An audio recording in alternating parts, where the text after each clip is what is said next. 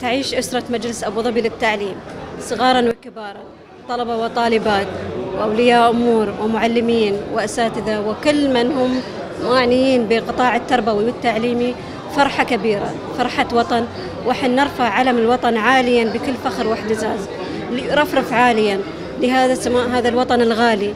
ونحن اليوم أيضا نحتفل بجلوس صاحب السمو الشيخ خليفة بن زايد آل نهيان رئيس الدولة حفظه الله وأطال في عمره. ونتبنى كلنا بصوت واحد أن يديم الله علينا نعمة الأمن والأمان تحت ظل قيادتنا الرشيدة. وصاحب السمو رئيس الدولة وأيضا جنودهم وأبنائهم الأوفياء اللي يبذلون الغالي والنفيس في سبيل الوطن.